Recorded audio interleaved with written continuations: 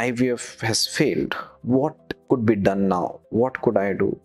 Is there another form of treatment which is better than IVF? Is there any such advancement in medical field? Unfortunately, no. IVF or test tube baby or IVF ICSI, what it is recently known as, is the biggest advancement in reproductive medicine in patients who want to conceive, which has happened in last few decades. And that still remains the best treatment. If IVF has failed for you, firstly, you have to consult the doctor who can understand, who can go through your records, talk to you, get to know what could be the reason. Believe me, there are many patients, I would say at least one fourth of the patient, in which the cause of a failed IVF is just related to your stress.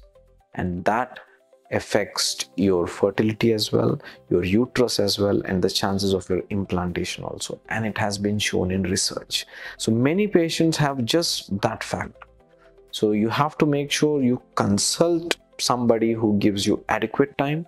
So that means the stress was the reason for not having a natural pregnancy, maybe not having an IUI pregnancy, and now not having an IVF pregnancy also.